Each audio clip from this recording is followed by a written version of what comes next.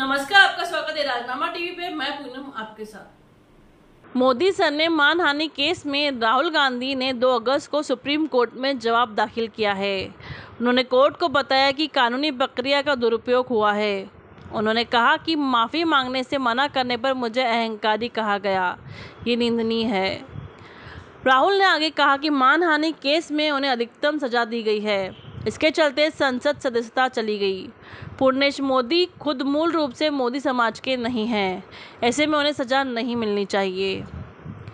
21 जुलाई को supreme court ने गुजरात सरकार और सूरत के भाजपा विधायक पूर्णेश मोदी को मामले में जवाब देने के लिए कहा था। इस पर पूर्णेश मोदी ने कोर्ट में इक्कीस पेज का हलाफनामा दायर करते हुए कहा कि मोदी सरनेम केस में राहुल का रवैया अहंकारी है। उनकी याचिका खारिज कर देना चाहिए।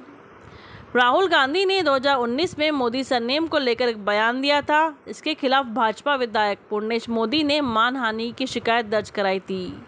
मामले में सूरत कोर्ट ने राहुल को दो साल की सजा सुनाई थी। इसके बाद उनकी सांसदी चली गई थी। इसी के साथ बने रहे राजनामा टीवी के साथ। धन्यवाद।